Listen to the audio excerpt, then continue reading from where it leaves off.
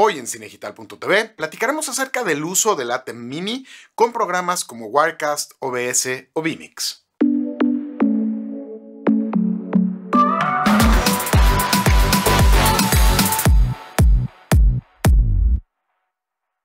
Hola, ¿qué tal? ¿Cómo están? José Luis Tamés de cinegital.tv y bienvenidos al programa del día de hoy. Antes de entrar en materia, les quiero hacer una invitación próximo miércoles a las 12 del día en Webinars Adobe vamos a tener un pequeño taller de corrección de color avanzada con Adobe Premiere. Así que sigan las ligas eh, de las redes sociales de Adobe Latinoamérica para estar enterados de, de, cómo entrar y todo esto. De todas formas, nosotros lo vamos a estar posteando en nuestras redes sociales y los esperamos el miércoles en este webinar en vivo de Adobe sobre corrección de color avanzada en Adobe Premiere. Y bueno, ¿De qué vamos a platicar el día de hoy? Ya la semana pasada hablábamos acerca del ATEM Mini y hubo muchas preguntas de cómo trabajar con el ATEM Mini, con OBS, con Vimix, con Wirecast. La razón es porque el ATEM Mini nos funciona muy bien como switcher, nos permite cargar gráficos de forma limitada en el sentido que solamente pueden ser imágenes estáticas ya sea con canal alfa o sin canal alfa, pero imágenes estáticas al final del día. Y no podemos cargar gráficos ni nada de eso. Recordemos que tampoco podemos hacer el stream directo. Tenemos que conectarlo ya sea a una computadora o a algún dispositivo para poder hacer el stream a la plataforma a la que queramos, ya sea Facebook, YouTube, etc. Entonces, obviamente nace la inquietud de cómo utilizo el dispositivo con un programa como OBS, como Vimix o como Wirecast. Y básicamente el concepto es exactamente el mismo para los tres programas. Tenemos que entender que trabajando con esos programas, el ATEM Mini básicamente se vuelve una tarjeta de captura para cuatro cámaras que nos permite seleccionar entre estas cuatro cámaras o cuatro fuentes, vamos a llamarle, vamos a llamarle así. ¿Qué significa? Que dentro del programa lo que nosotros vamos a ver es solamente una fuente de video, una sola entrada que nosotros vamos a capturar como si fuera una cámara web, por ejemplo, y vía esa entrada que es en 1080 recibimos las cuatro señales de video de nuestro ATEM Mini. Y ya directamente en el programa nosotros le podemos agregar gráficos, agregar supers, meter videos, etcétera, y desde el mismo programa hacer el stream. No hay forma de que nosotros veamos las cámaras de forma independiente en ninguno de estos programas. En los programas solamente vamos a ver una sola entrada. ¿Por qué? Porque detecta la computadora al ATEM Mini como una entrada única de video. Entonces, esto hay que tomarlo en cuenta. Así que si nosotros queremos switchar entre varias cámaras, lo que vamos a hacer es switchar en el ATEM, cambiar de la cámara 1, 2, 3 o 4, cámara o entrada de video, y a través del OBS generar nuestras escenas y meter gráficos, etcétera, o de Vimix o de Wirecast. Entonces, vamos a ver más o menos cómo funciona, cómo funciona esto.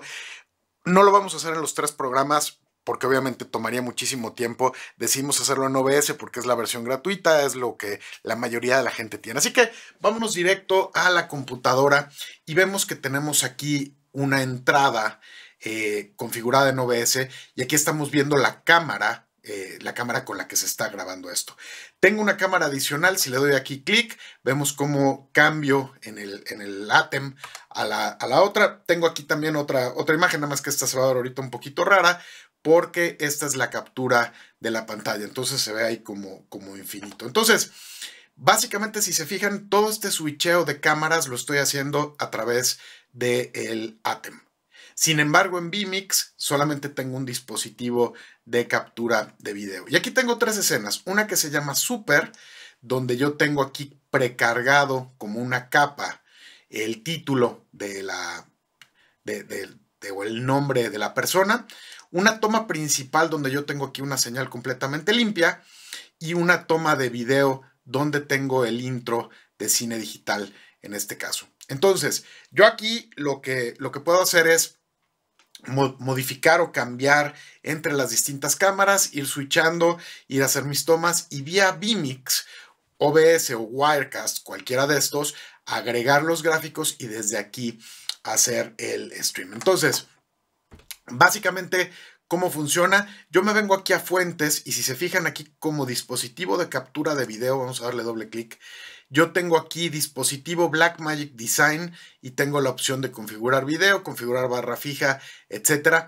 Y aquí es de donde yo meto la señal. Entonces, el sistema me detecta el equipo de, de Blackmagic como si fuera una tarjeta de captura. Aquí lo doy de alta y entonces yo ya tengo esto. Para quien no sabe cómo funciona eh, OBS, básicamente la forma es a través de capas. Entonces, en este caso tendríamos nuestro video primario como base. Vamos a ver aquí, por ejemplo, en el caso de este que tiene el super, tenemos el video aquí como base y luego tenemos el título. Este datem realmente no hace nada. Eh, pero este título sí. Si yo le doy clic aquí con el ojo, lo desaparezco y lo aparezco. Entonces aquí, dependiendo de cómo tenga las transiciones, yo puedo eh, switchar entre una toma y otra. Me vengo aquí, lo cambio, regreso a la toma principal, regreso al super, etc. Entonces, aquí básicamente esta es la forma en la que nosotros podemos trabajar. Ahora, la parte del, del audio cómo funciona y por dónde está entrando. Básicamente en este caso nosotros estamos metiendo el audio a través de la cámara. La cámara lo mete al ATEM Mini y el ATEM Mini lo mete en este caso a OBS. Esa es la forma en la que lo podemos hacer. Sin embargo, podemos eh, meter el audio a OBS de muchas formas. A través de una tarjeta de captura de audio, utilizando el mismo audio de nuestra, de nuestra eh, computadora, etc. Entonces, podemos meter el audio como nosotros querramos. En este caso, nosotros lo estamos metiendo directamente a través de la cámara. ¿Por qué? La misma razón de lo que hablábamos la semana pasada si nosotros metemos el audio y el video juntos vía la cámara, estos van a estar perfectamente sincronizados. Entonces no vamos a tener ningún problema de drift ni nada de esto. Ahora, si, existe interés sobre OBS, podemos hacer a lo mejor alguna serie pequeña sobre cómo operar y cómo trabajar con OBS. OBS básicamente es un switcher, es, es gratis, es una opción de, es una herramienta de código abierto que se puede descargar sin ningún problema y que nos permite switchar entre diferentes cámaras, nos permite grabar pantalla, etcétera, y puede ser muy útil en muchas situaciones. Ahora, He estado refiriéndome a Vimix y a Wirecast. Básicamente el concepto es el mismo, nada más que con la configuración que se utiliza en Wirecast o con la configuración que se utiliza en Vimix. De hecho, tenemos una serie de videos que hicimos sobre Vimix donde explicamos todo el funcionamiento. Básicamente sería el mismo, solamente que en lugar de tener una tarjeta de captura de entrada, tendríamos como fuente de entrada el ATEM Mini.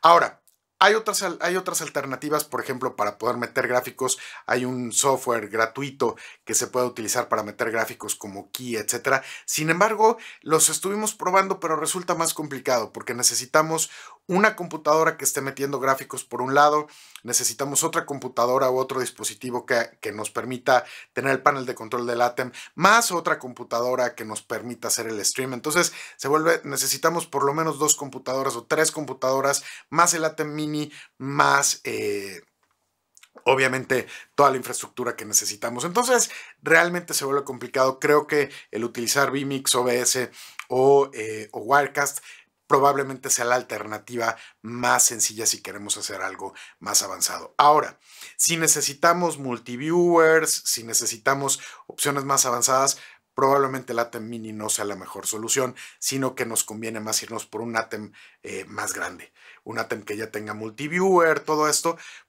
porque de lo contrario tenemos que estar haciendo muchos parches. ¿Cómo se hace el tema del multiviewer en este equipo? Básicamente necesitamos divisores de señal para HDMI, metemos el cable de nuestra cámara al divisor, uno de, uno de, los cables del divisor va a un aparato, a un multiviewer que esté conectado a otro monitor y el otro viene directamente al ATEM. Entonces necesitamos el, multiviewer, necesitamos un divisor por cada cámara, necesitamos otro monitor, necesitamos una serie de cables y cuando empezamos a sumar el costo probablemente nos convenga más irnos por un dispositivo de gama más alta. Sin embargo, el ATEM Mini para lo que es y lo que cuesta, realmente es un equipo que no tiene competencia en el mercado. Es un equipo sumamente funcional, entendiendo sus limitantes, que nos permite trabajar sin ningún problema en una producción multicámara simple para hacer a lo mejor un stream a YouTube, a Facebook, etcétera, eh, algún eh, circuito cerrado, sencillo para un evento o alguna cosa por el estilo. Pues si tienen alguna duda, algún comentario, por favor visiten la página en www.cinedigital.tv y haremos todo lo posible por contestar sus dudas. Pues me despido, mi nombre es José Luis Tamés y nos vemos en la siguiente de cinedigital.tv. Muchas gracias. Adiós.